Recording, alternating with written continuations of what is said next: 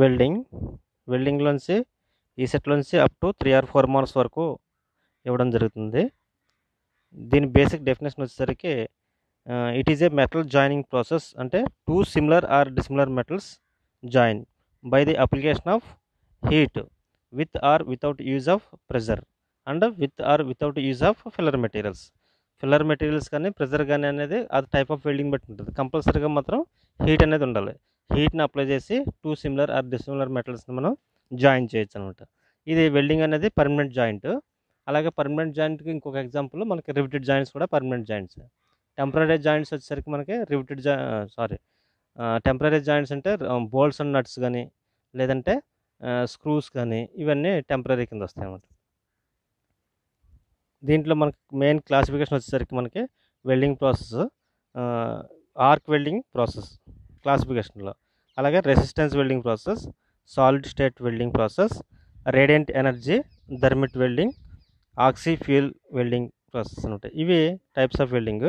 Arc వెల్డింగ్లో చూసుకున్నట్టయితే మనకి carbon arc welding shielded metal arc welding submerged arc welding gas tungsten అదే TIG welding అంటాం. Tungsten inert gas. అలాగే gas metal arc welding plasma arc welding atomic hydrogen arc welding stud welding electro slag welding electro gas welding. ఇవన్నీ మనకి arc welding process కింద వస్తాయి. Next resistant వెల్డింగ్లో ఏమేమి types ఉంటాయంటే ఇవి ఎక్కువగా ఎగ్జామ్స్లో కూడా అడుగుతాడు అనమాట ఆర్ఆర్బి కానీ లేకపోతే ఈ సెట్లో కానీ అట్లా కానీ అడుగుతాడు. Which of the following process is a or resistance welding process అంటాడు అనమాట రెసిస్టెన్స్ వెల్డింగ్లో టైప్స్ గుర్తుంచుకోవాలి. Spot welding seam welding projection welding percussion అలాగే resistance butt welding flash butt welding high frequency resistance welding high frequency induction welding. ఇవన్నీ మనకి resistance welding కింద వస్తాయి అనమాట అలాగే సాలిడ్ స్టేటింగ్ వచ్చేసరికి మనకి forge welding friction welding explosive welding ultrasonic welding cold pressure అలాగే థర్మో కంప్రెషన్ డిఫ్యూజన్ ఇవన్నీ సాలిడ్ స్టేట్ వెల్డింగ్ కింద వస్తాయి అనమాట radiant energy welding process radiant energy welding process అంటే మనకి electron beam welding laser beam welding ఇందులో రేడియంట్ ఎనర్జీని ఇచ్చేసి మెటల్స్ని జాయిన్ చేయడానికి ఇచ్చేస్తారు రేడియంట్ ఎనర్జీని అలాగే ధర్మిట్ వెల్డింగ్ ప్రాసెస్ ఇందులో ధర్మిట్ వెల్డింగ్లో ప్రెజర్ ధర్మిట్ ఉంటుంది నాన్ ప్రెజర్ ధర్మిట్ వెల్డింగ్ ఉంటాయి. నెక్స్ట్ ఆక్సిఫ్యూల్ గ్యాస్ ఇది గ్యాస్ వెల్డింగ్ టెక్నిక్స్ అనమాట ఇవి. గ్యాస్ వెల్డింగ్లో మనకి డిఫరెంట్ ఫ్యూల్స్ని ఇచ్చేసి అంటే ఎస్టిలిన్ కానీ హైడ్రోజన్ కానీ డిఫరెంట్ ఫ్యూల్ గ్యాసెస్ని ఇచ్చేసి చేస్తూ ఉంటుంది అలాగే నెక్స్ట్ ఎలైడ్ ప్రాసెస్ దీంట్లో వచ్చేసరికి metal joining metal depositing process అలాగే థర్మల్ కటింగ్ ప్రాసెస్ థర్మల్ కటింగ్లో మనకు గ్యాస్ కటింగ్ ఆర్ కటింగ్ వస్తాయి. మెటల్ జాయినింగ్లో వచ్చేసరికి సోల్డరింగ్ కానీ బ్రేజింగ్ కానీ braze welding adhesive adhesive bonding అలాగే surface metal spraying metal spraying ఇవన్నీ మనకి మెటల్ జాయినింగ్ ప్రాసెస్లో వస్తాయి మెటల్ డిపాజిటింగ్ ప్రాసెస్. ఇవి జనరల్ క్లాసిఫికేషన్. ఇవి మెయిన్లీ చూసుకున్నట్టయితే మనకి టూ కేటగిరీస్ కింద ఉంటాయి. ఇవి ఫ్యూజన్ వెల్డింగ్ అలాగే non pressure welding non pressure welding. అంటే నాన్ ప్రెజర్ వెల్డింగ్లో మనకు వచ్చేది ఫ్యూజన్ వెల్డింగ్ అనమాట. ఇందులో fusion welding coalescence of is accomplished by melting of two parts. Coalescence అంటే ఏం లేదు. టూ మెటల్స్ని జాయినింగ్ చేసే ప్రాసెస్ మనం కోలిసెన్స్ అంటాం. అంటే ఇక్కడ టూ సిమిలర్ ఆర్ డిసిమిలర్ మెటల్స్ని యూజ్ చేసి ఇందులో ఎటువంటి ప్రెజర్ని యూజ్ చేయమన్నమాట ఓన్లీ మెటల్ మెల్టింగ్ టెంపరేచర్ వరకు హీట్ చేసి ఆ కాంపోనెంట్స్ని అనేది జాయిన్ చేస్తాం. Example arc welding resistance spot welding oxy fuel welding ఇవన్నీ మనకి ఫ్యూజన్ వెల్డింగ్ కింద వస్తాయి. నెక్స్ట్ సాలిడ్ స్టేట్ వెల్డింగ్ వచ్చేసరికి ఇందులో మనకి ప్రెజర్ని ఇచ్చేస్తాం. హీట్ అండ్ ప్రెజర్ని ఇచ్చేసి చేస్తాం. ఇది వచ్చేసరికి ఫోర్జ్ వెల్డింగ్ కానీ డిఫ్యూజన్ వెల్డింగ్ కానీ ఫ్రిక్షన్ వెల్డింగ్ కానీ ఈ డిఫరెంట్ టైప్స్ అని ఉంటుంది. ఆర్క్ వెల్డింగ్ వచ్చేసరికి మనకి fusion welding is process in which coalescence of metals achieved by heat from electric arc between the electrode and work. ఇక్కడ ఎలక్ట్రిక్ ఆర్క్ అనేది జనరేట్ చేసి ఎక్కడ వర్క్ వర్క్కి ఎలక్ట్రోడ్కి మధ్యన ఆర్క్ అనేది జనరేట్ చేస్తాం. ఈ ఆర్క్ వల్ల ఏమవుతుందంటే అది హీట్ జనరేట్ అవుతుంది. ఆ హీట్ ఎనర్జీ వల్ల అది ఫ్యూజన్ స్టేట్లోకి వస్తుంది. ఎంత హీట్ అంటే up to five thousand to five hundred degree Celsius వరకు. కొన్ని టెక్స్ట్ బుక్స్లో మనకి six thousand to five hundred వరకు ఇస్తాడు. అంటే సిక్స్ థౌజండ్ డిగ్రీ సెల్సియస్ వరకు మనకి హీట్ అనేది జనరేట్ అవుతుంది. అక్కడ ఉన్న కరెంట్ని బట్టి అది జనరేట్ అవుతుంది అనమాట ఇందులో most of arc welding process filler మెటీరియల్స్ని use చేస్తారు. ఈ ఫిల్లర్ మెటీరియల్స్ ఎందుకు యూజ్ అవుతాయి అంటే మనకి అక్కడ ఉన్న వెల్డింగ్ ఏరియా దగ్గర వాల్యూమ్ ఇంక్రీజ్ చేయడానికి. అంటే ఫిల్ ఎక్స్ట్రా మెటీరియల్ మనకి ఇక్కడ ఫిల్లర్ మెటీరియల్ రూపంలో ఇవ్వడం జరుగుతుంది అన్నమాట and to fill the weld area. అందుకనే వాల్యూమ్ ఇంక్రీజ్ చేయడానికి అలాగే స్ట్రెంత్ ఆఫ్ ద వెల్డెడ్ జాయింట్స్ని ఇంప్రూవ్ చేయడానికి ఎక్కువగా ఇచ్చేస్తారు ఉంటుంది ఇక్కడ ఆర్క్ వచ్చేసరికి మనకి ఆర్క్ అంటే ఏంటంటే it is an electric arc is a discharge of electric current across the gap of the circuit ఈ గ్యాప్ అనేది ఎలక్ట్రోడ్కి అలాగే వర్క్ పీస్కి మధ్యన ఉంటుంది. ఈ ఆర్క్ మధ్యలో మనకి ఆర్క్ అనేది జనరేట్ అవుతుంది అనమాట ఇది ఆర్క్ వెల్డింగ్ అనేది ఎలక్ట్రోడ్ బ్రాట్ ఇన్ ఎలా జనరేట్ చేస్తుంటే మనం ఫస్ట్ ఇది కాంటాక్ట్ ఫస్ట్ వెంటనే ఇమీడియట్గా కాంటాక్ట్ చేసిన తర్వాత వెంటనే quickly separated from the short distance first arc generate అవ్వాలంటే ఫస్ట్ వర్క్ పీస్ని వర్క్ పీస్తో టచ్ అవ్వాలి ఎలక్ట్రోడ్ అనేది. ఎలక్ట్రోడ్ టచ్ అయిన వెంటనే ఇమీడియట్గా మళ్ళీ సపరేట్ చేస్తాం. సో ఒక స్మాల్ గ్యాప్ మెయింటైన్ చేస్తూ ఆర్క్ అనేది జనరేట్ చేస్తాం అనమాట ఇది ఈ ఆర్క్ గ్యాప్ అనేది సుమారుగా మనకి టూ టు ఫోర్ ఎంఎం వరకు ఉంటుంది. ఒక్కొక్కసారి మనకి డయామీటర్ ఆఫ్ ఎలక్ట్రోడ్ ఈ ఎలక్ట్రోడ్ డయామీటర్ ఎంత ఉందో అంత గ్యాప్ని మెయింటైన్ చేయొచ్చు. లేదంటే టూ టు ఫోర్ ఎంఎం వరకు ఈ గ్యాప్ అనేది మెయింటైన్ చేస్తూ ఉంటాం. వర్క్ పీస్కి ఎలక్ట్రోడ్కి మధ్యన. ఈ ఎలక్ట్రోడ్ ఆర్క్ వెల్డింగ్లో మనం చూసుకున్నట్టయితే సెటప్ ఇలా ఉంటుంది. దీంట్లో మనకి కన్జ్యూమబుల్ ఎలక్ట్రోడ్ అనే రెండు రకాలు ఉంటాయి electrodes consumable non consumable consumable electrode అంటే మనకి ఫిల్లర్ మెటీరియల్స్ కన్జ్యూమబుల్ ఎలక్ట్రోడ్ కింద యాక్ట్ అవుతుందంట. అంటే ఎలక్ట్రోడ్ ఫిల్లర్ మెటీరియల్ ఒకటే. ఎప్పుడు? కన్జ్యూమబుల్ ఎలక్ట్రోడ్లు అయితే అలాగే నాన్ కన్జ్యూమబుల్ ఎలక్ట్రోడ్ అంటే ఫిల్లర్ మెటీరియల్ వేరేగా ఉంటుంది. నాన్ కన్జ్యూమబుల్ అంటే ఇది కన్జ్యూమ్ అవ్వదు అనమాట అది కాన్స్టెంట్గా ఉంటుంది కాబట్టి అది. ఇప్పుడు ఇక్కడ ఇచ్చింది మనకి సెటప్లో ఇక్కడ చూడండి ఇది. ఇది నాన్ కన్జ్యూమబుల్ ఎలక్ట్రోడ్ అయితే ఇక్కడ ఫిల్లర్ మెటీరియల్ సపరేట్గా వాడతాడు. అదే కన్జ్యూమబుల్ ఎలక్ట్రోడ్ అయితే ఇంకా ఫిల్లర్ మెటీరియల్ ఉండదు. అదే కన్జ్యూమ్ అవుతూ ఉంటాం రీప్లేస్ చేసుకుంటూ ఉంటాం. ఇది వచ్చేసరికి ట్రాన్స్ఫార్మర్ ఈ కేబుల్స్ ఎలక్ట్రోడ్ కేబుల్స్ ఇది ఎలక్ట్రోడ్ హోల్డర్ వర్క్ పీస్ ఇవన్నీ మనకి సెటప్ అనేది ఈ విధంగా ఉంటుంది. Two basic types of electrodes ఉంటాయి మనకి. ఒకటి consumable electrode non consumable electrode consumable electrode అంటే డ్యూరింగ్ వెల్డింగ్ అప్పుడు అది ఆటోమేటిక్గా కన్జ్యూమ్ అవుతూ ఉంటుంది. అయిపోయిన వెంటనే మళ్ళీ రీప్లేస్ చేసుకుంటూ కొత్త ఎలక్ట్రోడ్ని అలాగే వెల్డింగ్ అనేది కంటిన్యూస్ చేస్తాం అనమాట ఇక్కడ ఏంటంటే source of filler material in arc welding. అంటే ఫిల్లర్ మెటీరియలే కన్జ్యూమబుల్ ఎలక్ట్రోడ్ రెండు ఒకటే.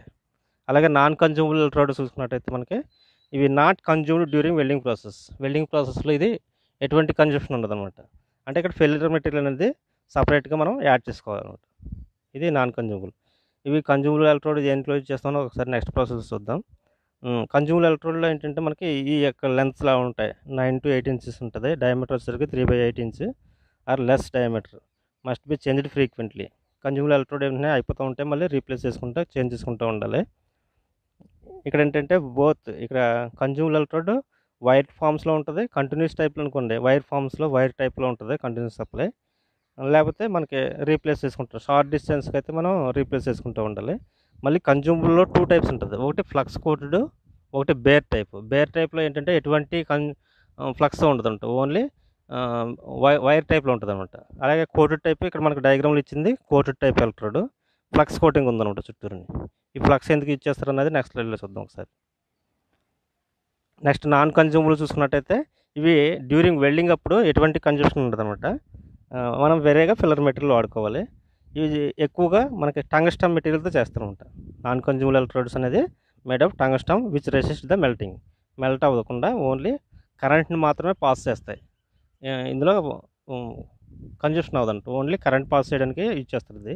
అందులో ఏంటంటే నాన్ కన్జ్యూమబుల్ ఎలక్ట్రోడ్ అయితే కరెంట్ పాస్ అవుతుంది అలాగే పిల్లర్ మెటీరియల్ కింద యాక్ట్ అవుతుంది కన్జ్యూమ్ అవుతుంది అంట. దీంట్లో వచ్చేసరికి ఓన్లీ కరెంట్ మాత్రమే పాస్ అవుతుంది నాన్ కన్జ్యూమ్డ్ ఎలక్ట్రోడ్ అనమాట ఇది వచ్చేసరికి ఇంకో వే అంటే వేరే మెటీరియల్ ఏమైనా ఇచ్చేస్తారంటే టంగస్టంతో పాటు కొన్ని నాన్ కన్జ్యూమబుల్ ఎలక్ట్రోడ్ కార్బన్ మెటీరియల్తో కూడా చేస్తూ ఉంటారు. ఇక్కడ ఏంటంటే any filler material must be supplied by separate wire is fed into the weld pool మనకు ఫిల్లర్ మెటీరియల్ కావాలనుకుంటే మళ్ళీ వేరేగా సప్లై చేసుకోవాలి. నాన్ కన్జ్యూమబుల్ ఎలక్ట్రోడ్లు అయితే. ఆర్క్ షీల్డింగ్ ఆర్క్ షీల్డింగ్ అంటే ఇది మనకు ప్రొటెక్షన్ అనమాట at high temperature in arc welding AW అంటే arc welding metals are chemically reactive with oxygen to oxygen nitrogen and hydrogen in air ఇవేంటంటే హై టెంపరేచర్ జనరేట్ అవుతుంది కాబట్టి సుమారుగా five thousand degree Celsius temperature develop అవుతుంది కాబట్టి ఆ temperature దగ్గర ఇది అట్మాస్ఫియర్లో ఉన్న ఆక్సిజన్తో కానీ నైట్రోజన్తో కానీ హైడ్రోజన్తో కానీ ఆక్సిడేషన్ చెందడం వల్ల ఆ యొక్క వెల్డింగ్ స్ట్రెంత్ అనేది వీక్ అయిపోతుంది. మెకానికల్ ప్రాపర్టీస్ డిగ్రేడ్ అయిపోతాయి అనమాట ఇట్లనే ఈ ఆక్సిడేషన్ అవ్వకుండా ఆక్సిడేస్ ఆక్సైడ్స్ ఫామ్ అవ్వకుండా ఉండాలంటే మనం అక్కడ స- సరైన అట్మాస్ఫియర్ అంటే ప్రొటెక్షన్ ఇవ్వాలన్నమాట. ఆ ప్రొటెక్షన్ అనేది మనం షీల్డింగ్ రూపంలో ఇస్తున్నాం అనమాట ఇదే మనకి ఫ్లక్స్ కోటింగ్ కానీ లేదంటే ఇనర్ట్ గ్యాసెస్ కానీ ప్రొటెక్ట్ చేసి మనం ఆ వెల్డ్ జోన్ దగ్గర ప్రొటెక్ట్ చేస్తాం అనమాట ఇక్కడ ఆర్క్ షీల్డింగ్ అకంప్లిష్డ్ బై అంటే టూ షీల్డింగ్ గ్యాసెస్.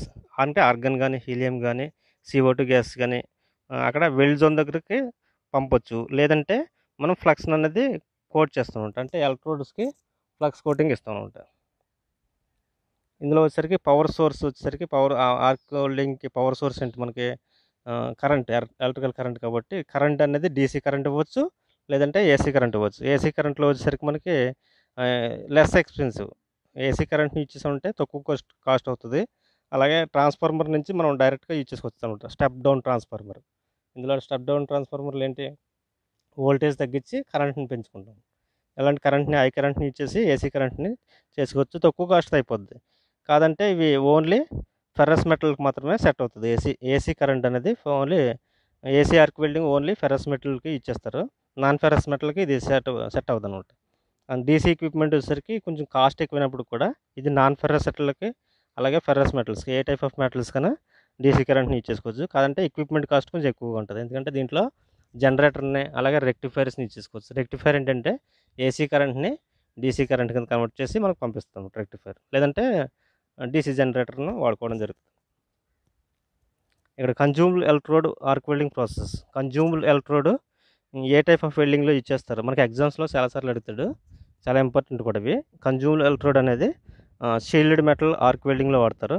ఈ షార్ట్ కట్లు ఎస్ఎంఏడబ్ల్యూ అంటే షీల్డ్ మెటల్ ఆర్క్ వెల్డింగ్ అలాగే గ్యాస్ మెటల్ ఆర్క్ వెల్డింగ్ ఇంకోటి flux cored arc welding electro gas welding submerged arc welding వీటిలో కన్జ్యూమబుల్ ఎలక్ట్రోడ్ వాడతారు అనమాట మనకి ఏంటంటే టెక్స్ట్ బుక్స్లో ఇది గ్యాస్ మెటల్ ఆర్క్ వెల్డింగ్ అన్న metal MIG metal inert gas welding అంటాం ఎంఐజీ అంటాం.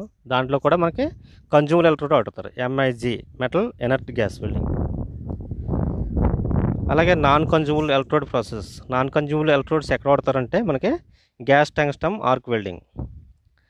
అదే టిగ్ వెల్డింగ్ అంటాం దీన్ని gas tungsten arc వెల్డింగ్ని tungsten inert gas welding T TIG welding.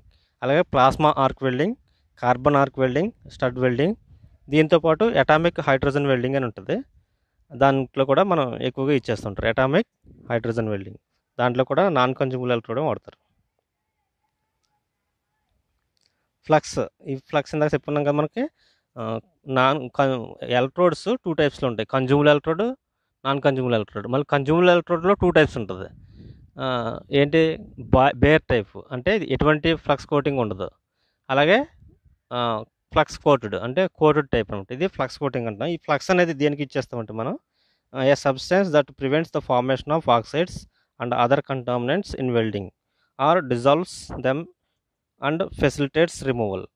ఈ ఫ్లక్స్ అనేది మనకి ఇందాక చెప్పుకున్నాం కదా ఈ హై టెంపరేచర్ వల్ల హైడ్రోజన్తో కానీ నైట్రోజన్తో కానీ ఆక్సిజన్తో కానీ ఆక్సైడ్స్ ఫామ్ చేస్తాయి అనమాట ఈ ఆక్సైడ్స్ ఫామ్ అవ్వకుండా వెల్డ్ జోన్ని ప్రొటెక్ట్ చేయడానికి ఈ ఫ్లక్స్ని ఇచ్చేస్తాం అంటే ఈ మూడు ఫంక్షన్స్ ఉంటాయి three functions. Provide protective atmosphere welding. ఇది ఎస్టో స్టెబిలైజ్ ద ఆర్క్. ఆర్క్ని స్టెబిలైజ్ చేస్తుంది. Reduce the spattering. స్పాటరింగ్ అనేది రెడ్యూస్ చేయగలుగుతుంది. అంటే స్పాటర్స్ అంటే మనకి స్పార్క్స్ టైప్లో కానీ ఆ వెల్డ్ జోన్ నుంచి కాకుండా అది మనకి ఎర్త్ నుంచి ఓజోన్ లేయర్ ఎలా ప్రొటెక్ట్ చేస్తుందో సరిగ్గా వెల్డింగ్ నుంచి ఆ వెల్ జోన్ నుంచి ఈ షీల్డింగ్ ఫ్లక్స్ అనేది అలా ప్రొటెక్ట్ చేస్తుంటాం వెల్ జోన్ని. ఇది త్రీ ఫంక్షన్స్ గుర్తుంచుకోవాలి. ప్రొవైడ్ ప్రొటెక్టివ్ అట్మాస్ఫియర్ వెల్డింగ్ ఇంకోటి stabilise the arc reduce the spattering. ఈ ఫ్లక్స్ అనేది ఎలా ఇచ్చేస్తారు various flux applications మెథడ్లు. Pouring granular flux into welding operation. Granular ఫ్లక్స్ని ఎక్కువగా సబ్మర్జ్డ్ ఆర్క్ వెల్డింగ్లో ఎక్కువగా ఇచ్చేస్తూ ఉంటారు. గ్రాన్యులర్ ఫ్లక్స్ వెల్డింగ్ ఇంకోటి stick electrode coated with flux ఇందాక చెప్పాను కదా మీకు డయాగ్రామ్లో కూడా చూపించాను. కోటెడ్ ఎలక్ట్రోడ్స్ అనమాట ఇవి. Flux coating electrodes during welding welding operation అప్పుడు చేసేస్తారు. Next tubular electrode in which flux is contained in the core and released electrode in consume ఒక ట్యూబ్ టైప్లో ఉంటుంది. ఆ ట్యూబ్లోంచి మనకి కన్జ్యూమర్ ఎలక్ట్రోడ్ పంపిస్తారు. దాని సరౌండింగ్ విత్ గ్యాసెస్ని పంపిస్తారు అనమాట మనకి ఇది మెటల్ ఎనర్ట్ గ్యాస్ వెల్డింగ్లో చూస్తాం మనం. ఎంఐజీ వెల్డింగ్లో సేమ్ ఇదే ట్యూబ్లర్ టైపు యూజ్ చేస్తారు అనమాట అక్కడ. Next direct current. ఇందాక చెప్పాను కదా ఏసీ కరెంట్ వచ్చేసరికి ఓన్లీ ఫెరస్ మెటలే. డీసీ కరెంట్ వచ్చేసరికి నాన్ ఫెరస్ అలాగే ఫెర్రస్ మెటల్స్ కూడా ఇచ్చేస్తారు ఇందులో ఏ డీసీ కరెంట్ వచ్చేసరికి type of current where the flow of electrons in one direction. ఒక డైరెక్షన్లో డీసీ కరెంట్ ఉంటుంది. ఫ్లో ఆఫ్ ఎలక్ట్రాన్స్ అనేది ఒక డైరెక్షన్లో వెళ్తుంది. అదే ఏసీ కరెంట్లో అయితే వేవ్ ఫామ్లో ఉంటుంది అనమాట సైన్ వేవ్ ఆ వేవ్ ఫామ్లో ఉంటుంది. ఇక్కడ వచ్చేసరికి మనకి AC arc వెల్డింగ్లో direction of flow is called polarity. Polarity అనేది ఇంపార్టెంట్ మనకి. అదే పొలారిటీ అనేది ఏసీ ఏసీ ఆర్క్ వెల్డింగ్లో రాదు. ఓన్లీ పొలారిటీ అనేది డీసీ ఆర్క్ వెల్డింగ్లోనే వస్తుంది. ఇది డైరెక్షన్ ఆఫ్ కరెంట్ని మనం ఏమంటామంటే పొలారిటీ అంటాం అనమాట ఇందులో రెండు రకాలు ఉంటాయి. ఏ డీసీ డైరెక్ట్ డీసీ పొలారిటీ ఇంకోటి డీసీ స్ట్రైట్ పొలారిటీ ఇంకోటి డీసీ రివర్స్ పొలారిటీ అని రెండు రకాలు ఉంటాయి. రెండు రకాలు ఒకసారి చూద్దాం. పొలారిటీ అంటే మనకి డైరెక్షన్ ఆఫ్ కరెంట్ని ఇండికేట్ చేస్తుంది. ఇక్కడ ఏంటంటే DC straight polarity DC reverse polarity straight పొలారిటీలో వచ్చేసరికి మనకి వర్క్ పీస్ పాజిటివ్ కనెక్ట్ చేస్తారు.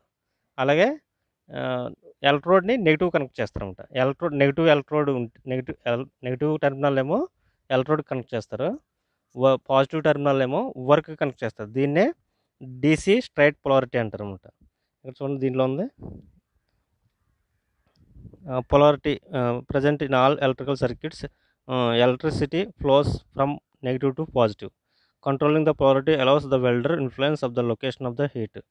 ఇలా ఇలా కనెక్ట్ చేయడం వల్ల ఏమవుతుందంటే ఎక్కువ పాజిటివ్ టెర్మినల్ ఉన్న దగ్గరే ఎక్కువ హీట్ లిబరేట్ అవుతుంది. సపోజ్ ఇప్పుడు మనం చెప్పాను కదా డీసీ స్ట్రైట్ పొలారిటీలో స్ట్రైట్ పొలారిటీ అంటే electrode negative work positive. Positive ఎక్కడైతే ఉందో వర్క్ దగ్గర అక్కడ ఎక్కువ హీట్ లిబరేట్ అవ్వడం వల్ల ఎక్కువ ఫ్యూజ్ అవుతుంది అనమాట అంటే డీసీ స్ట్రైట్ పొలారిటీ అనేది థిక్కర్ మెటీరియల్స్ వాడతారు. అదే రివర్స్ పొలారిటీ అంటే దాని మీనింగ్ ఏంటంటే మనకి డీసీ రివర్స్ పొలారిటీ దానికి షార్ట్ కట్లు వాడతారు. DC reverse polarity. డిసిఆర్పి అని ఉంటుంది అనమాట చూడండి లాస్ట్ లైన్లో ఉన్నాయి కదా. డీసీ రివర్స్ పొలారిటీ ఇదేమో DC straight polarity. DC reverse polarity వచ్చేసరికి టర్మినల్స్ మారుతారు అనమాట ఎలా మారుతాడు? వర్క్ ఏమో నెగిటివ్ ఎలక్ట్రోడ్ ఏమో పాజిటివ్ ఇప్పుడు మనం చెప్పాను కదా వర్క్ ఎక్కువ హీట్ దేనికి ఉంటుంది? పాజిటివ్ టర్మినల్గా ఉంటుంది ఇప్పుడు. Two third of heat positive terminal one third of heat negative terminal ఉంటుంది అంటే ఎప్పుడైతే మనం పాజిటివ్ టర్మినల్లో మార్చేస్తామో వర్క్ నెగిటివ్ వచ్చేసిందో అంటే తక్కువ హీ తక్కువ థిక్నెస్ ఉంటుంది అనమాట అప్పుడు మీకు. అంటే థిక్కర్ మెటీరియల్స్కి ఏమో స్ట్రైట్ పొలారిటీ వాడతాడు. థిన్నర్ మెటీరియల్స్ అంటే థిక్నెస్ తక్కువ ఉన్న వీటికేమో రివర్స్ పొలారిటీ వాడతారు అనమాట అంటే ఇక్కడ మనకి ఎగ్జామ్ పాయింట్ ఆఫ్ వ్యూలో చూసుకున్నట్టయితే మనకి డీసీ స్ట్రైట్ పొలారిటీలో ఆ టర్మినల్స్ దేనికి కనెక్ట్ చేస్తారనేది ఎక్కువ అడుగుతారు. డీసీ స్ట్రైట్ పొలారిటీలో వర్క్ ఏమో పాజిటివ్ టర్మినల్ ఎలక్ట్రోడ్ ఏమో నెగిటివ్ టర్మినల్ అదే రివర్స్ పొలారిటీలో వచ్చేసరికి వర్క్ ఏమో నెగిటివ్ టర్మినల్ పాజిటివ్ టర్మినల్ వచ్చేసరికి ఎలక్ట్రోడ్ ఈ టర్మ్స్ అనేది గుర్తుంచుకుంటే సరిపోతుంది ఇది షీల్డ్ మెటల్ ఆర్క్ వెల్డింగ్ ఇది.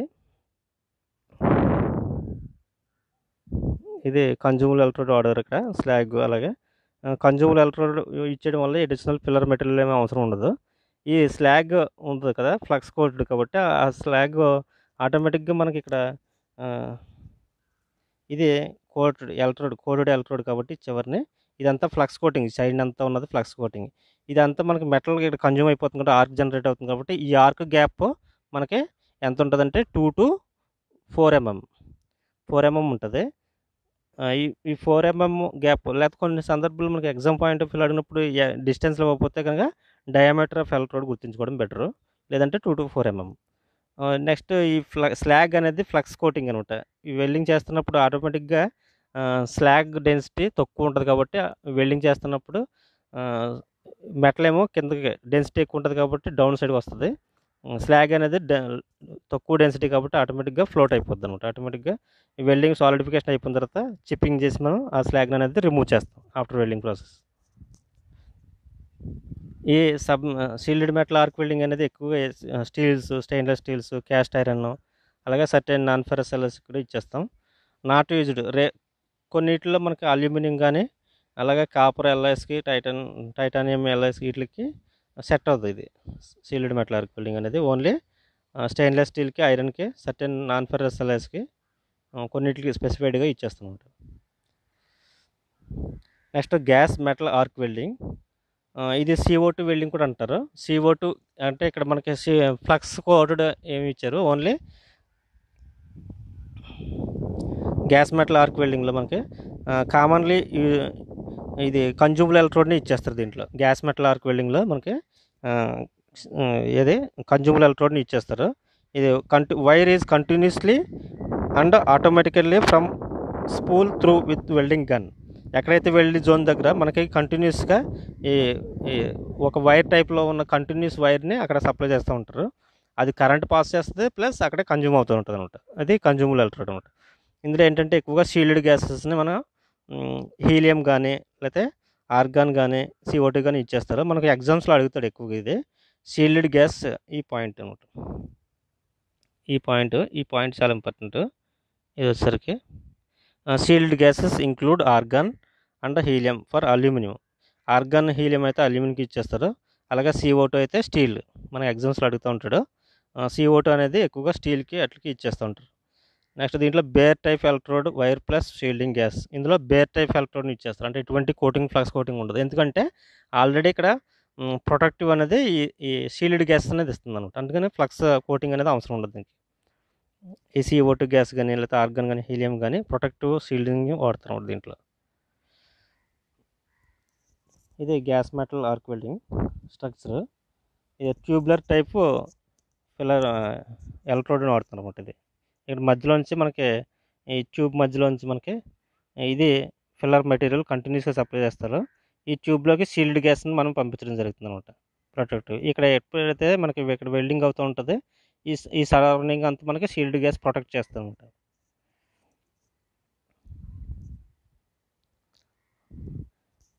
గ్యాస్ మెటల్ ఆర్క్ వెల్డింగ్లో మనకి అడ్వాంటేజెస్ చూసినట్టయితే సీల్డ్ మెటల్ ఆర్క్ వెల్డింగ్తో కన్నా gas metal arc welding comparison అంటే షీల్డ్ మెటల్ ఆర్క్ వెల్డింగ్ ఏంటంటే ఫ్లక్స్ టైప్ అంటే కన్జ్యూమబుల్ ఎలక్ట్రోడ్ కోటెడ్ ఎలక్ట్రోడ్ వాడతారు. దీంట్లో వచ్చేసరికి బేర్ టైప్ ఎలక్ట్రోడ్ వాడతారు. అదే తేడా దానికి దీనికి. ఇందులో వచ్చేసరికి better arc time because continuous wire electrode. అదే గ్యాస్ మెటల్ అయితే కంటిన్యూస్ ఎలక్ట్రోడ్ వాడతారు. ఇది ఇందులో ఎటువంటి అంటే ఇంటరప్షన్స్ రావు. కంటిన్యూస్గా వెల్డింగ్ చేసుకుంటూ వెళ్ళొచ్చు అనమాట అదే సీల్డ్ మెటల్ ఆర్క్ వెల్డింగ్లో అయితే sticks must be periodically changed. Electrode అయిపోయిన వెంటనే మనం మళ్ళీ మార్చుకుంటూ ఉండాలన్నమాట. అది ఎంత ఉంటుంది మా అయితే హాఫ్ అంటే ఫైవ్ హండ్రెడ్ ఎంఎంలో వస్తే ఫోర్ హండ్రెడ్ ఎంఎం అలా ఉంటుంది. అది అయిపోయిన వెంటనే మళ్ళీ స్టిక్స్ చేంజ్ చేసుకుంటూ ఉండాలి. ఏది దేంట్లో? Sealed metal arc వెల్డింగ్లో. Next better use electrode filler metal then shield metal arc welding. Electrodes కూడా బెటర్గా ఉంటాయి దీంట్లో ఫిల్లర్ మెటల్లో అలాగే end stick cannot be used submerged. అంటే లాస్ట్లో అయిపోయిన తర్వాత కొంత స్టిక్ వేస్ట్ అవుతూ ఉంటుంది అనమాట అదే హైయర్ డిపాజిషన్ రేట్స్ అచీవ్ అవుతాయి. దీనిలో గ్యాస్ మెటల్ ఆర్క్ వెల్డింగ్లో డిపాజిషన్ రేట్ కూడా ఎక్కువగా ఉంటుంది. ఎలిమినేట్స్ ప్రాబ్లమ్ స్లాగ్ స్లాగ్ అనేది రిమూవ్ చేసుకోవచ్చు మనం. ఇందులో స్లాగ్ అనేది అసలు ఫామ్ అవ్వదు. ఎందుకంటే మనం ఫ్లక్స్ కోటింగ్ అవ్వట్లేదు కాబట్టి ఎటువంటి స్లాగ్ ఫామ్ అవ్వదు. అదే మనకి సీల్డ్ మెటల్ ఆర్క్ వెల్డింగ్లో అయితే స్లాగ్ అనేది ఫామ్ అవుతుంది అనమాట మళ్ళీ దాన్ని చిప్పింగ్ చేసి రిమూవ్ చేసుకోవాలి. Submerged arc welding submerged arc వెల్డింగ్లో మనకి ఎగ్జామ్స్లో ఎక్కువగా అడిగేది ఏ టైప్ ఆఫ్ ఎలక్ట్రోడ్ వాడుతారని అడుగుతున్నాడు. అంటే బేర్ టైప్ ఎలక్ట్రోడ్ వాడతారు. ఇది కంటిన్యూస్ సప్లై ఇది కూడా వైర్ టైప్లో ఉంటుంది. సేమ్ గ్యాస్ మెటల్ ఆర్క్ వెల్డింగ్లో టైప్లో ఇది కూడా సబ్మర్జర్ ఆర్క్ వెల్డింగ్లో కూడా కన్జ్యూమర్ ఎలక్ట్రోడే బేర్ టైప్ వాడతారు అనమాట ఇందులో ఏ టైప్ ఆఫ్ ఫ్లక్స్ని ఇచ్చేస్తారంటే గ్రాన్యులర్ ఫ్లక్స్ ఎగ్జామ్స్లో చాలా చాలా ఇంపార్టెంట్ ఇవి. ఇవి అడుగుతాడు bare type electrode granular flux ఇవి అడుగుతున్నాడు. అలాగే electrode wire is automatically from coil coil ఒక తొట్టలాగా ఉంటుంది రీల్ టైప్లో ఆ రీల్ టైప్లో ఉన్న కంటిన్యూస్ని ఎక్స్ట్రాక్ట్ చేస్తూ కంటిన్యూస్ సప్లై అవుతానంట. ఇందులో ఏంటంటే flux is introduce joint slightly head of arc gravity from hopper ఈ గ్రాన్యులర్ ఫ్లక్స్ అనేది కంటిన్యూస్గా సప్లై అవుతుంది. ఆర్క్ అనేది మనకి విజిబిలిటీగా ఉండదు. ఒక గ్రాన్యులర్ ఫ్లక్స్ మనకు కనపడకుండానే కంప్లీట్లీ సబ్మెర్జెస్ ఆపరేషన్ ఇక్కడ వెల్డింగ్ ఆపరేషన్ అనేది సబ్మెర్జ్ ఆపరేషన్లో జరుగుతుంది అనమాట preventing sparks spatters and radiations ఏమి కనపడవు అనమాట స్పా స్పాటరింగ్ అనేది రాదు దీంట్లో. సబ్మెర్జ్డ్ ఆర్క్ వెల్డింగ్ సెటప్ ఈ విధంగా ఉంటుంది. ఇది మనకి చూసుకున్నట్టయితే ఫ్లక్స్ అనేది రికవల్ చేస్తాడు ఫస్ట్ ఇక్కడ వెల్డింగ్ ప్రాసెస్ అనేది ఇది కంటిన్యూస్ రీల్డ్. ఈ రీల్ నుంచి మనకి కంటిన్యూస్గా ఎలక్ట్రోడ్ సప్లై అవుతుంది ఈ విధంగా. ఇక్కడ ఏంటంటే మనకి గ్రాన్యులర్ ఫ్లక్స్ ఇక్కడ ఉంటుంది లిక్విడ్ షేప్లో ఉంటుంది. దాంట్లో ఈ ఇక్కడ నుంచి సప్లై చేస్తాడు వెల్డింగ్ అవుతుంది. ఇది అయిపోయిన తర్వాత కొంత రికవరీ చేస్తారనమాట ఫ్లక్స్. నైంటీ పర్సెంటేజ్ ఆఫ్ ఫ్లక్స్ని మళ్ళీ రికవర్ చేసి ఈ ట్యాంక్లో పంపిస్తాను అనమాట రీయూజ్ చేసుకుంటాను అనమాట ఇది మామూలుగా సెటప్ అనమాట సబ్మెర్జ్డ్ ఆర్క్ వెల్డింగ్ సెటప్. ఇక్కడ అప్లికేషన్స్ వచ్చేసరికి మనకి స్టీల్ ఫ్యాబ్రికేషన్స్ కానీ అప్ టు ఫిఫ్టీ ఎంఎం వరకు ఇది డెప్త్ చేయగలుగుతుంది అనమాట ఎంత డెప్త్ ఉన్నా కానీ అలాగే seams large diameter pipes tanks and pressure vessels వీటికి ఎక్కువగా ఇచ్చేస్తారు సబ్మెజర్ ఆర్క్ వెల్డింగ్ కంటిన్యూస్గా ఇంటరప్షన్ లేకుండా చేయగలుగుతుంది కాబట్టి. అలాగే వెల్డెడ్ కాంపనెంట్స్ హెవీ మెషినరీకి అట్లకి ఇచ్చేస్తారు most of steels except high C in steel అంటే కార్బన్ కంటెంట్ ఎక్కువ ఉన్న స్టీల్స్కి ఇది అప్లికేబుల్ కాదనమాట చేయలేరు. అంటే not good for non ferrous metals non ferrous మెటల్స్కి పెద్దగా యూజ్ అవుతుంది అంటున్నారు ఇందులో డిపాజిషన్ రేట్ ఎక్కువగా ఉంటుంది బాగా. అడ్వాంటేజెస్ చూసుకున్నట్టయితే ninety up to ninety percentage flux వరకు మనం రికవర్ చేసుకోవచ్చు దీంట్లో. అలాగే ఎడ్జ్ ప్రిపరేషన్ అనేది దీంట్లో అవసరం ఉండదు అనమాట నో ఎడ్జ్ ప్రిపరేషను అలాగే ఫ్యూమ్స్ కానీ అవి కానీ చాలా తక్కువ టైంలో రిలీజ్ అవుతాయి. ఫ్యూమ్స్ అంటే మనకు ఆర్క్ వెల్డింగ్ టైప్లో దీంట్లో తక్కువగా ఫ్యూమ్స్ అనేది రావడం జరుగుతుంది. వెల్డింగ్ డీప్ పెనట్రేషన్ కూడా ఉంటుంది. క్వాలిటీ కూడా ఎక్సలెంట్గా వస్తుంది దీంట్లో. లిమిటేషన్స్ వచ్చేసరికి ఇది only preferred for ferrous metals steels కానీ స్టెయిన్లెస్ స్టీల్ కానీ. అలాగే సమ్ నికెల్ బేస్డ్ ఎలైస్కి బాగా సెట్ అవుతుంది. Normally limited for long straight seams and rotated pipe or vessels. Pipe vessels కానీ పెద్ద పెద్ద బాయిలర్స్ డ్రమ్స్ ఉంటాయి కదండి. ఆ టైప్లో చేయాలనుకున్న వెల్డింగ్ కష్టం. కింద రొటేషనల్ టైప్లో పెట్టుకోవాలన్నమాట అప్పుడు. అంటే పెద్ద రొటేషన్ ప్రెజర్ విజల్స్ రౌండ్గా ఉన్నప్పుడు ఒక కింద రౌండ్ టైప్లో కంటిన్యూస్గా తిరుగుతూ ఉంటే పైన వెల్డింగ్ చేస్తూ ఉంటారు. ఆ టైప్లో చేసుకోవచ్చు. జాగ్రత్తగా చేసుకో ఆ అరేంజ్మెంట్ అంతా కొంచెం కాస్ట్లీ ఎక్విప్మెంట్ అనమాట relatively troublesome flux handling system. Flux handling కొంచెం డిఫికల్ట్ అనమాట ట్రబుల్స్ సమ్ ట్రబుల్స్ అవుతాయి అన్నమాట దీంట్లో. ఫ్లక్స్ని మళ్ళీ రీకలెక్ట్ చేయడం అది కొంచెం ఇబ్బంది.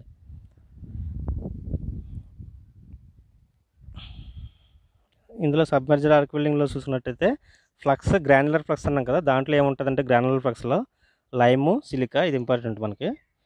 గ్రాన్యులర్ ఫ్లక్స్లో ఏముంటుందంటే మనకి లైము సిలికా అంటే manganese oxide and calcium fluoride.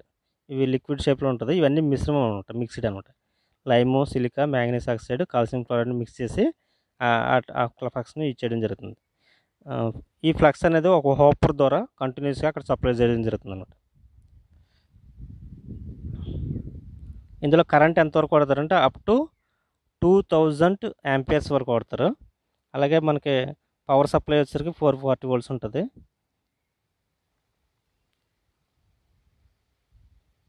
ఇది వైర్ డయామీటర్ వచ్చేసరికి one point five to ten mm ఉంటుంది. Consumer electrode diameter one point five to ten mm diameter ఉంటుంది. దాన్ని ఇచ్చేస్తారు అనమాట next gas metal arc welding. Gas metal arc welding ఇది ఇంకో పేరు metal inert gas MIG welding అంటాం. టిగ్ మిగ్ అంటాం కదా TIG welding MIG welding.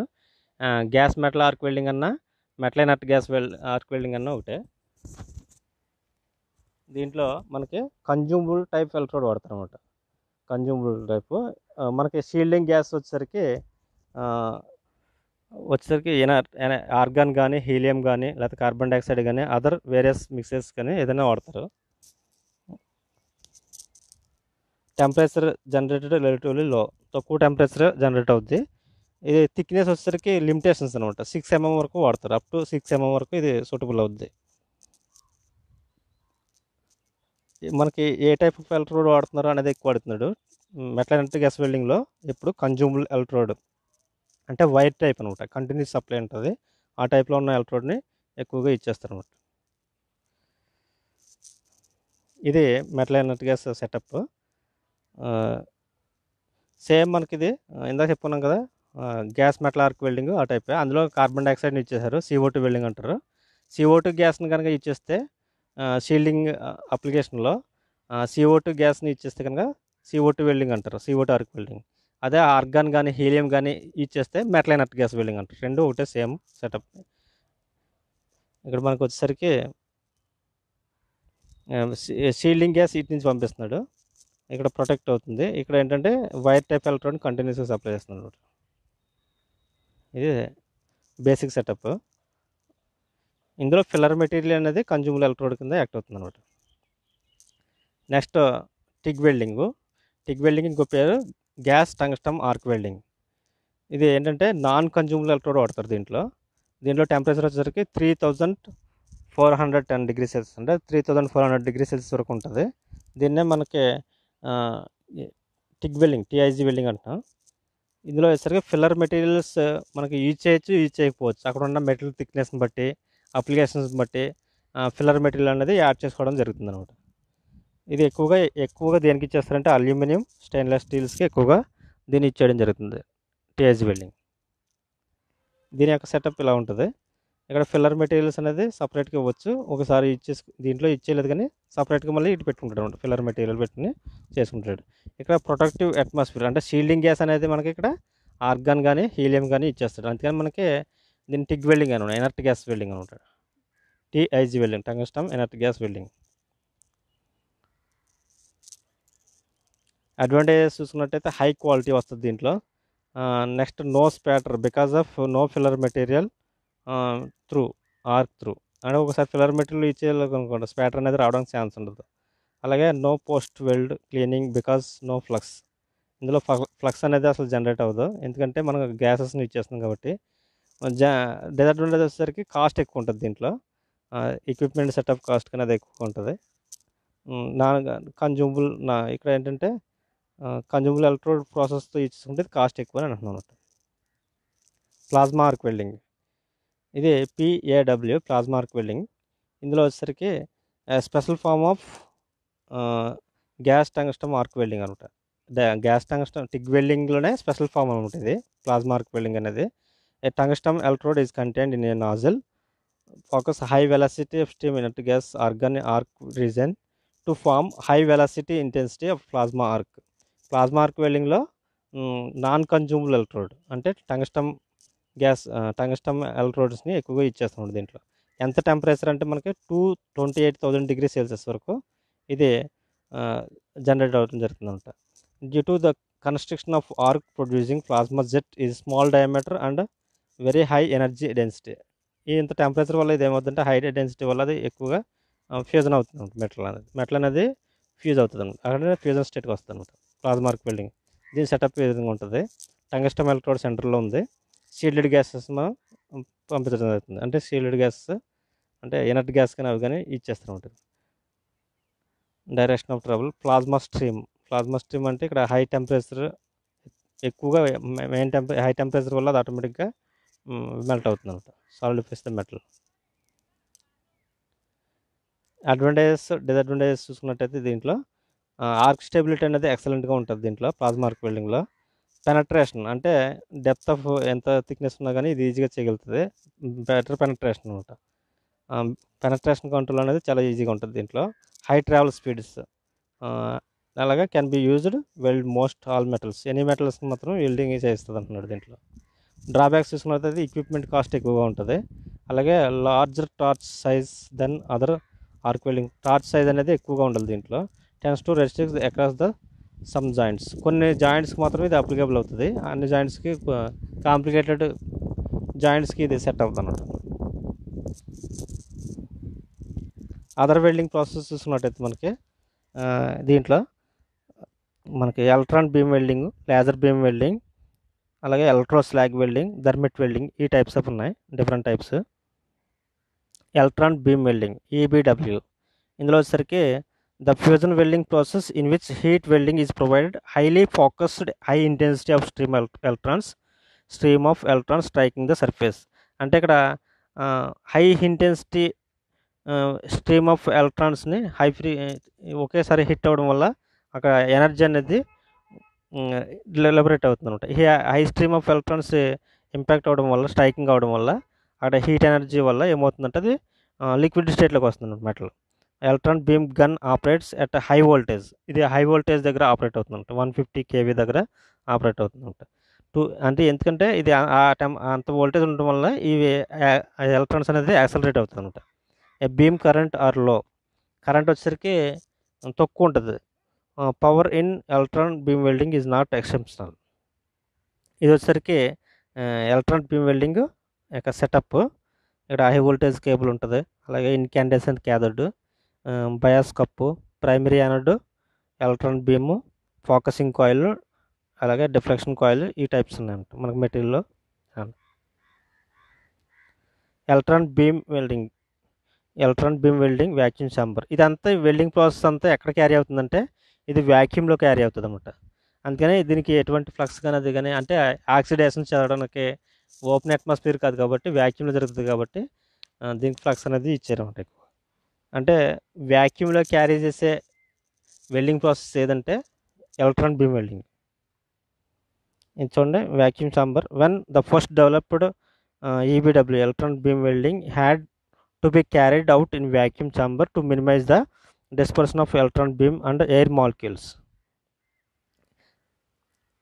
అలాగే serious inconvenience of in production pump down time can be take long an hour ఇవి ఇది మొత్తం ఈ వెల్డింగ్ ప్రాసెస్ అంతా మొత్తం వ్యాక్యూమ్లోనే క్యారీ అవుతుంది. ఇందులో ఏంటంటే high vacuum welding medium vacuum welding non vacuum welding అని టూ త్రీ టైప్స్ ఉంటాయి. ఎక్కువగా మనం కామన్గా యూజ్ చేసేది high vacuum welding welding is same vacuum chamber has been beam generation and to produce the highest quality weld quality weld అనేది ఇక్కడ బాగా maintain అవుతుంది.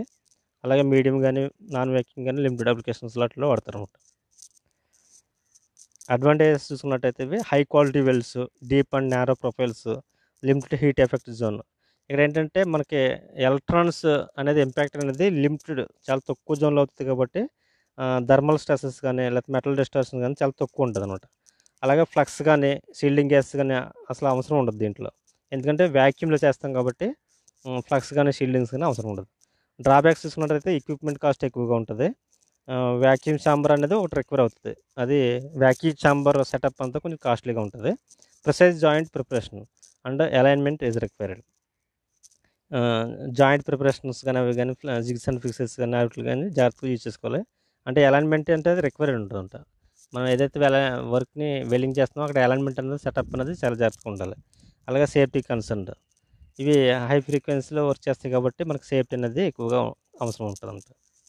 అలాగే లేజర్ బీమ్ వెల్డింగ్ ఎల్బిడబ్ల్యూ.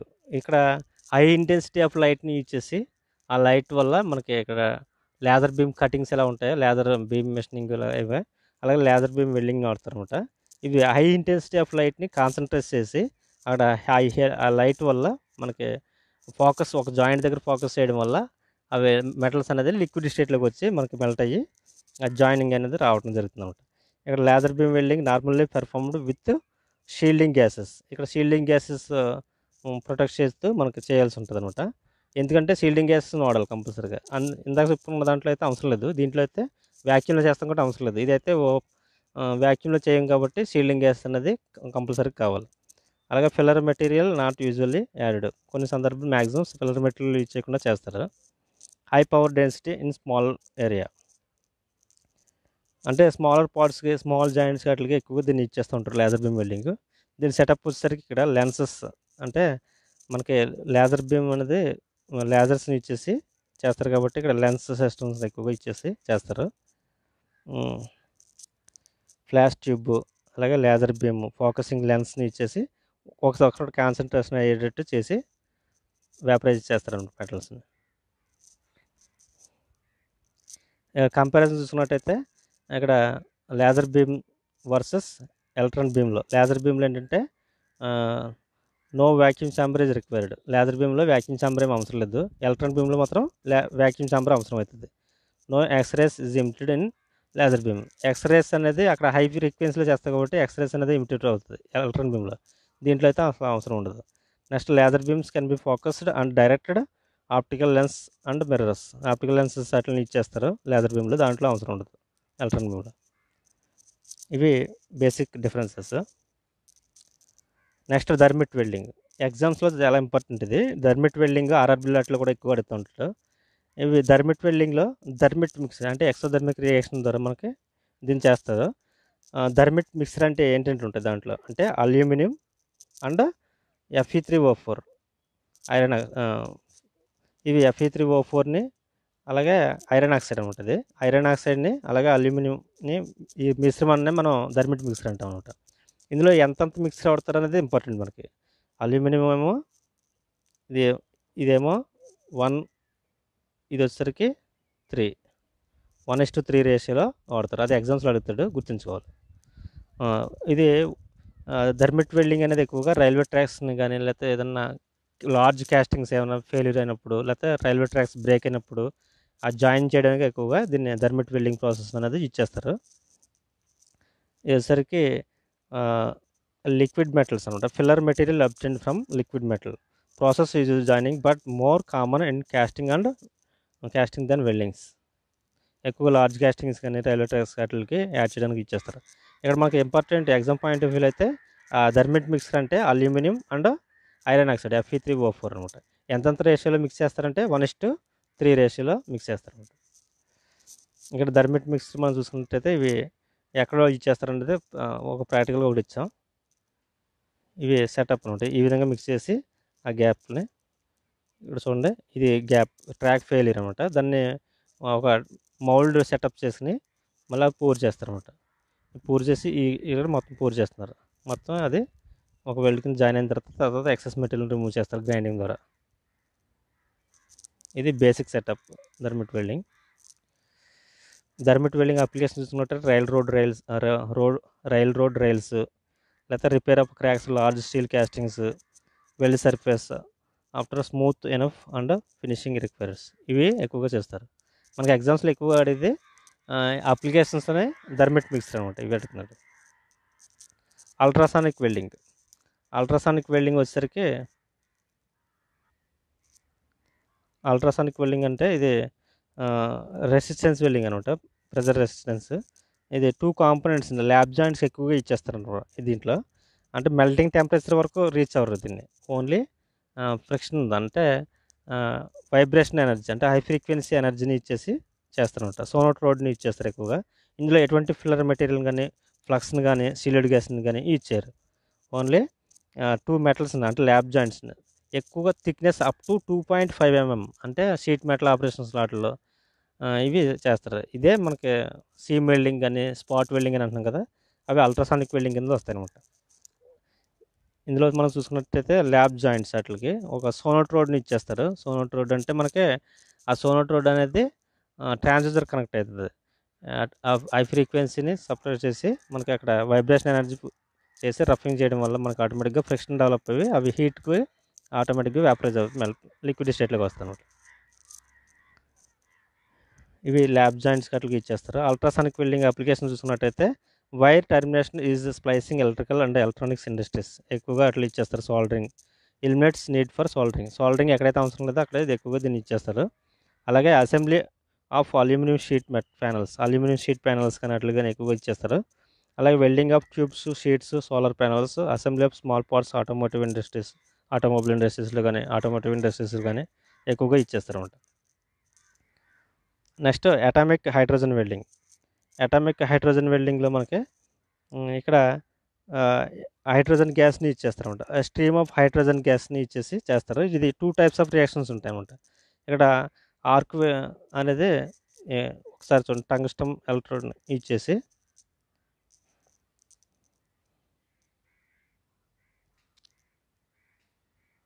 ఇక్కడ చూడండి. ఈ టూ టంగ్స్టమ్ ఎలక్ట్రోడ్ని ఇచ్చేస్తారు ఆ టూ టంగ్స్టమ్ ఎలక్ట్రోడ్స్ నుంచి ఒక హైడ్రోజన్ గ్యాస్ని పాస్ చేస్తారనమాట ఈ పాస్ చేయడం వల్ల ఇవి హైడ్రోజన్ మాలిక్యూల్స్ రియాక్షన్ ఎలా ఉంటుందంటే మనకి హెచ్ టూ అంటే two H minus four twenty one. ఈ ఆర్క్ దగ్గర మనకి ఏం చేస్తుందంటే కొంత ఎనర్జీని ఎంత ఎనర్జీని? Four twenty one point two kilo joules for మోల్స్ని.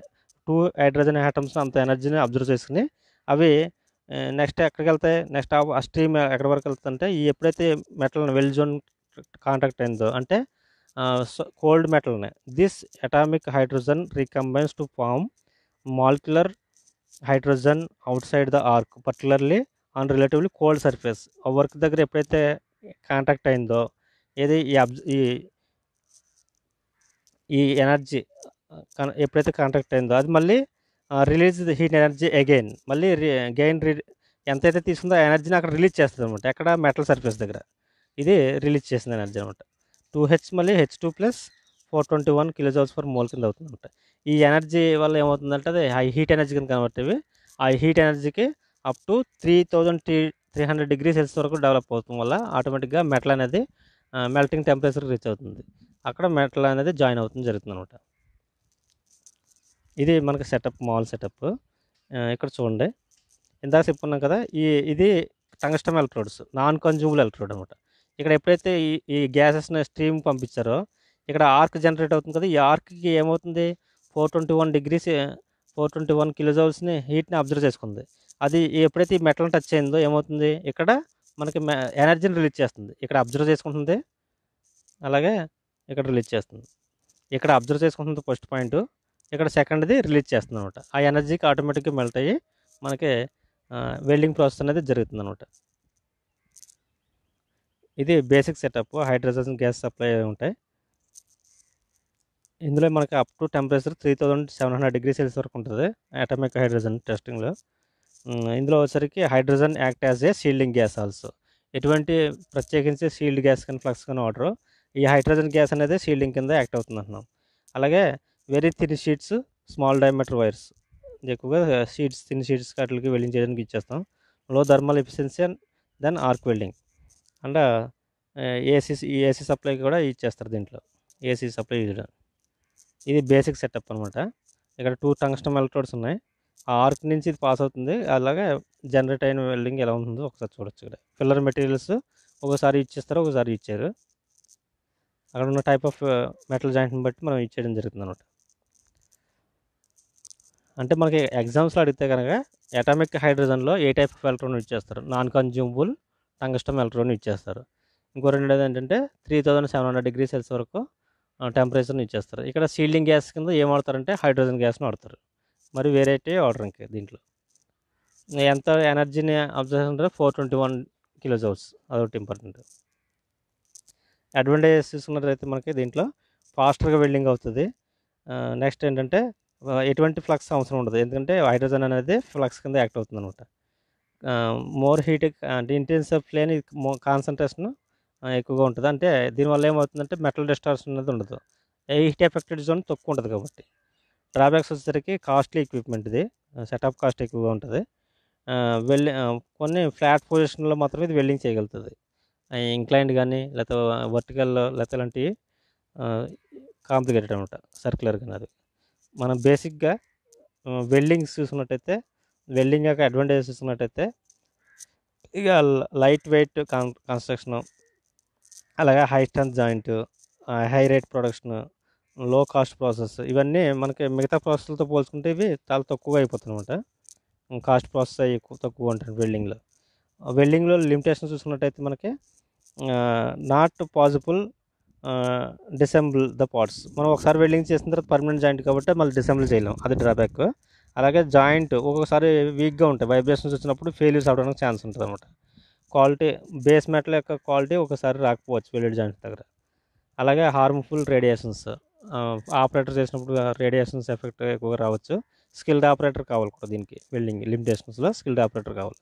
Applications వచ్చేసరికి మనకి బ్రిడ్జెస్లో కానీ లేకపోతే ఆటోమొబైల్ ఇండస్ట్రీస్లో కానీ aircraft transportation boilers pressure vessels చాలా చోట్ల ఆల్మోస్ట్ ఆఫ్ ఆల్ ఇండస్ట్రీస్లో వెల్డింగ్ అనేది వాడతారు అనమాట ఇవి basic definitions okay thank you